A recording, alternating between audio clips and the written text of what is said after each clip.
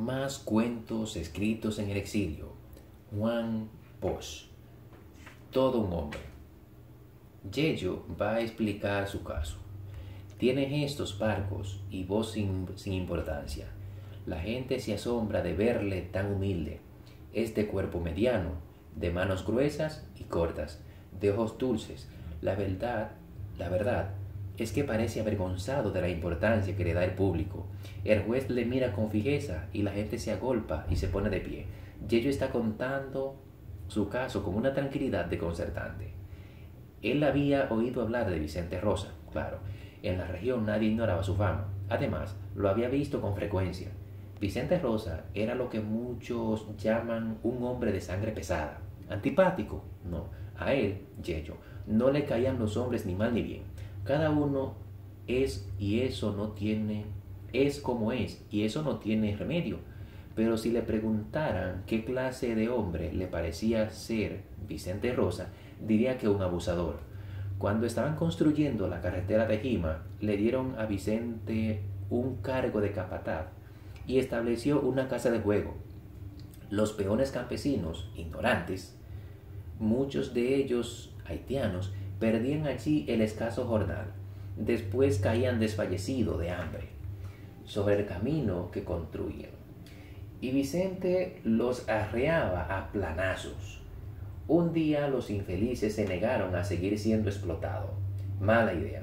Vicente montó en cólera y empezó a repartir machetazos. Algunos quisieron defenderse, pero aquel hombre era un torbellino. Abrió cráneos, tumbó brazos, seguido de los seis o siete amigos que le de los siete de los seis o siete amigos que le salen siempre a tales fieras. Y entre asalariados de mujeres y de niños echaba por tierra los bohíos y le prendía fuego. Hasta los montes vecinos persiguió a los aterrorizados peones. Y después se las arregló tan bien con la gente del pueblo que hasta presos fueron algunos de los perseguidos siempre sucede igual, claro, y también le pareció a Yello que tal cosa no tiene remedio. Lo malo estuvo en que Vicente Rosa abusó de, de su fama de guapo. En la gallera nadie se atrevía a cobrarle si perdía. Y cuando entraba en una pulpería, el pulpero rogaba a Dios que se fuera pronto. Lo mismo si estaba una hora que si estaba diez bebiendo. Le decían tranquilamente que le apuntaran lo que fuera y nunca se acordaba de la deuda. En las fiestas le quitaba a los hombres las mujeres sin decir palabra. Un hombre sangrudo, lo que se dice sangrudo. El caso con Yello ocurrió así. Por las vueltas de Pino Arriba vivía Eleodora. Toda la gente que llenaba la sala del tribunal vio a Eleodora. Bajo el pelo de brillante negruzca mutraba la frente Bajo el pelo de brillante negrura mostraba la frente trigueña, después las cejas finas, los ojos pequeños y la nariz y la boca. ¡Qué boca, Dios! Sonrió dos veces y la gente se moría porque lo hiciera de nuevo. Era una boca menuda, de, de labios carnosos y dientes macizos. Cuando el juez le ordenó levantarse para jurar, Muchos hombres la miraron y alelados. Eso sí era una mujer. Eleodora miraba a Yello con simpatía y la gente no quería admitir que hubiera algo entre dos seres tan distintos. Yello era muy firme hablando. El juez preguntó, ¿Estaba usted enamorado de la joven? Me gustaba, dijo resueltamente. Yo le pregunto a usted si estaba enamorado. Eso eso de enamorarse no es así, señora. A uno le gusta lo bonito, pero enamorarse bien de adentro y así según las condiciones de la mujer. Eso de enamorarse no es, no es así, señora. A uno le gusta lo bonito, pero enamorarse viene de adentro y así según las condiciones de la mujer. Tal vez andaba por enamorarme, no se lo puedo asegurar pero si el Señor me lo permite, le diré que lo que pasó hubiera pasado man que ella hubiese sido vieja y fea. Descontando, descontando todos los circunloquios de la tramoya judicial, el caso puede sintetizarse así. Vicente Rosa, con su fama de guapo y sus ojos atravesados, estaba un día dándose tragos en la pulpería de Apolonio Torres, y allí mismo, sentado sobre una pila de aparejos, fumaba pacíficamente su cachimbo, Yello Ramírez. Por dos veces estuvo Vicente mirándole con sorna. Yello, tranquilamente, indiferente, le devolvía las miradas. Parece que Vicente perdió los estribos, ordenó un trago de cuatro dedos y se dirigió con él hacia Yello. Beba, de, de colorío, ordenó. El joven no movió músculo, simplemente respondió. No bebo, amigo. Beba, le digo, tronó el guapo. Le dije, le he dicho que no bebo. Beba, ¿que no sabe quién le habla? Sí, yo sé, usted Vicente Rosa, pero yo no bebo. Los tres o cuatro hombres que estaban en la pulpería se apresuraron a intervenir. Un viejo negro explicó. No puede, amigo, está enfermo. Yello rectificó fríamente. no estoy enfermo nada. Lo que pasa es que no me da la gana de complacer al amigo. Vicente Rosa hizo ademán de irle arriba, pero se le echaron encima los demás y lo contuvieron. Tenía los ojos fulgurantes como candela y soplaba como animal. Váyase, Yello, rogaba el viejo negro. No puedo, explicaba Yello, porque tal porque está al caer una harina y si me mojo me da catarro. Hecho, hecho un ciclón, Vicente Rosa luchaba por deshacerse de los otros y hacía temblar toda la pulpería. Aquiétese, Vicente, aquiétese, suplicaba el pulpero. Solo Yello estaba tranquilo allí, seguía fumando con, con escalofriante serenidad y sus ojos dulces parecían ver el tumulto desde lejos. Por segundo volvía la mirada hacia el camino real, como si no tuviera que ver nada con lo que sucedía. El color azul de las lomas presagiaba lluvia. Vea que viene gente, Vicente, dijo el pulpero. Y en efecto llegó gente. Al, ver la brega, Eleodora se detuvo un instante, pero enseguida alzó la voz para pedir media libra de azúcar y un centavo de jabón. Y esa voz, que parecía un canto de ruiseñor, aplacó la reyerta.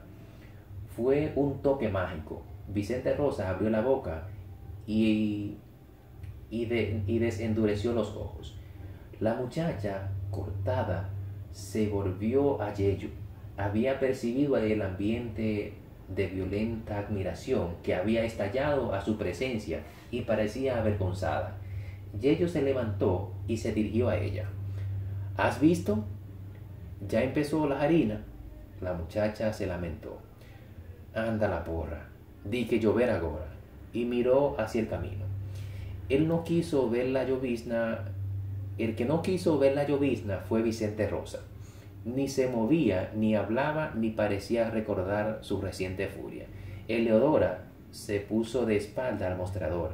En el inicio de sonrisa que le llenaba el rostro de gracia, se le veía el placer que le daba tanta admiración.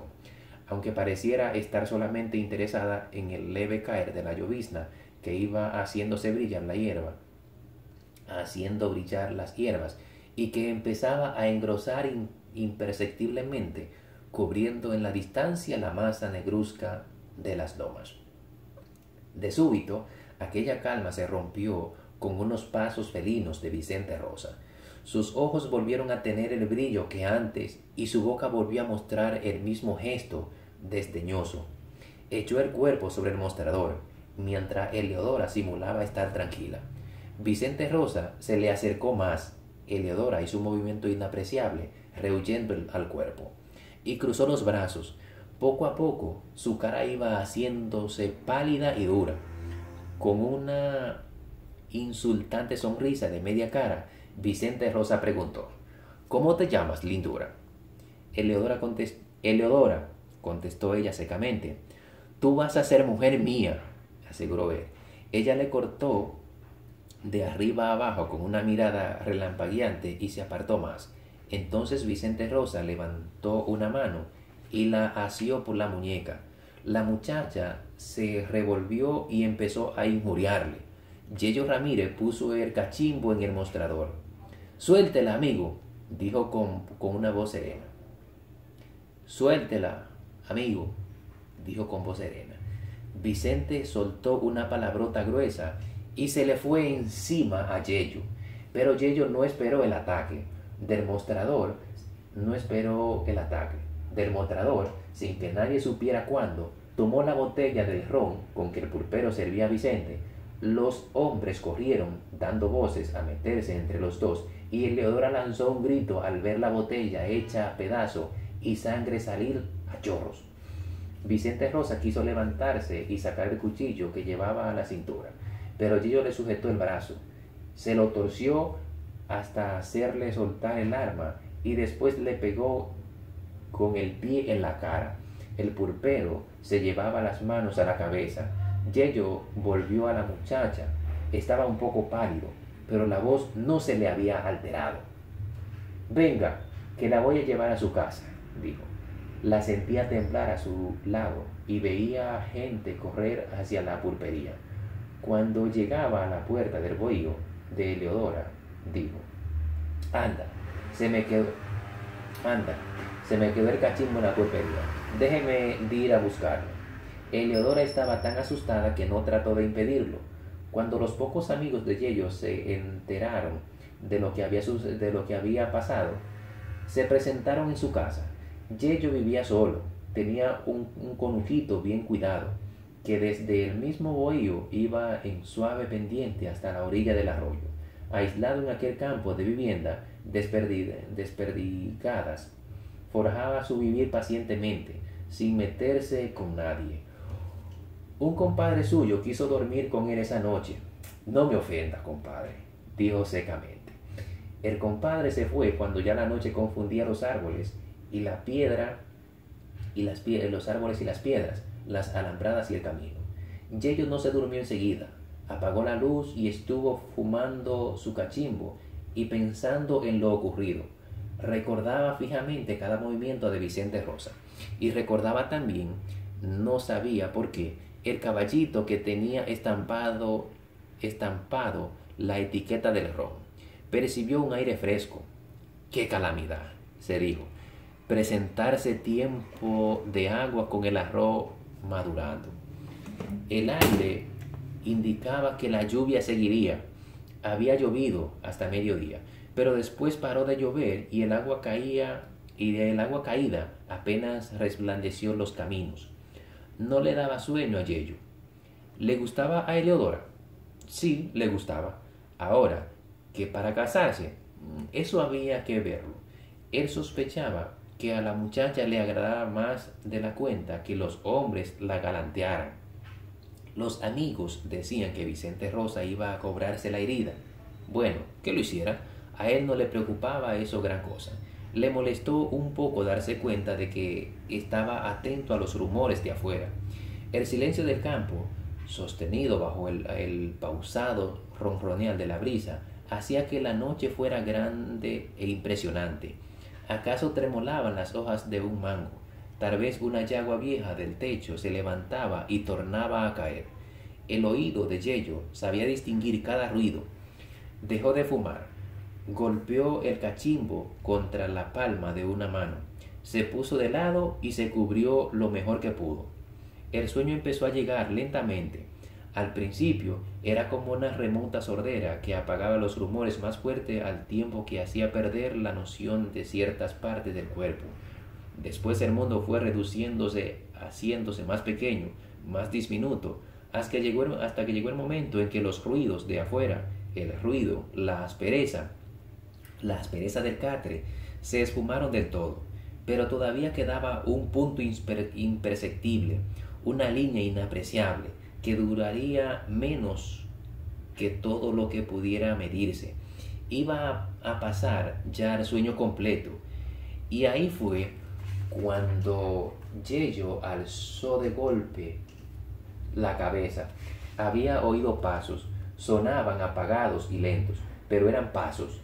Yello aguzó su atención.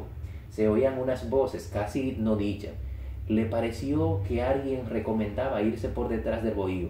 Creyó oír que decían, yo me quedo aquí. Vicente Rosa,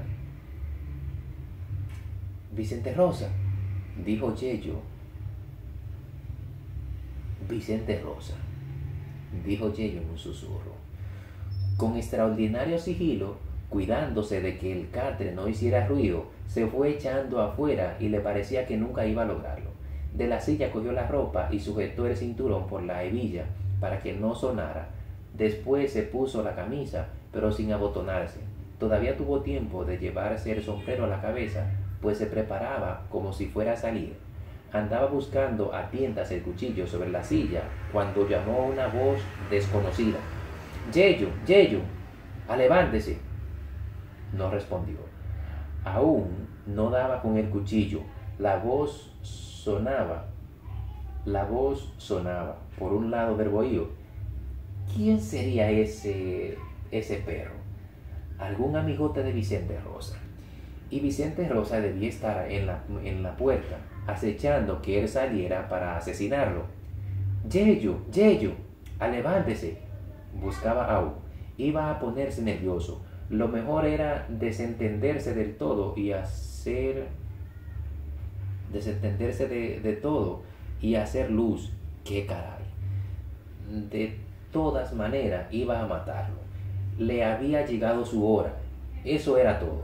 Pero en ese momento, cuando ya estaba buscando en el bolsillo del pantalón la caja de fósforos, recordó que había puesto el cuchillo en el catre bajo la almohada.